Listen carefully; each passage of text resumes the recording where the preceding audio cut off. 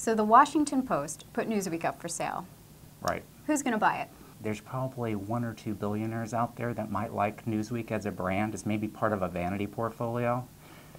It doesn't make business sense, but they like it, you know, personally. I wouldn't doubt if somebody surfaces there, maybe one or two, who knows? What about Bloomberg Well, I think he's got his hands full. and Carlos Slim? Carlos Slim possible. What about foreign bidders like Abril or Televisa?